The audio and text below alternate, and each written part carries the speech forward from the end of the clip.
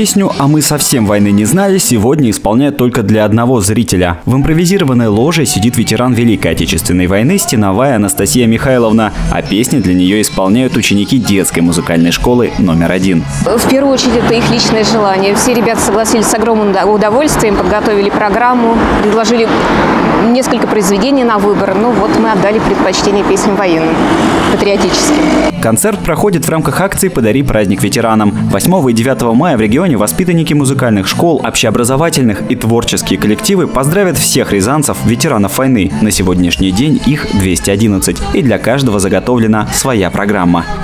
Души были прочнее,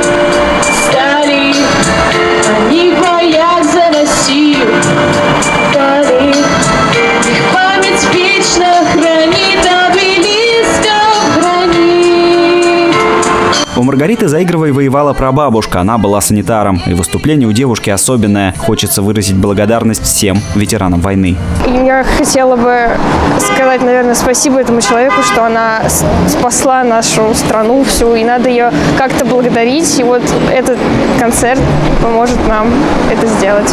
Акция «Подари праздник ветеранам» проходит в Рязани впервые. На большой отклик не рассчитывали, поэтому результат приятно удивил. Ветераны улыбаются, подпевают, а порой и вытирают слезы. Их поздравляют во дворах, на балконах, в подъездах. Спасибо сегодня говорят всем и каждому. И подобную акцию планируют провести и в следующем году. Поздравляем вас с Днем Победы и благодарим за жизнь, свободу и мир, который вы нам подарили.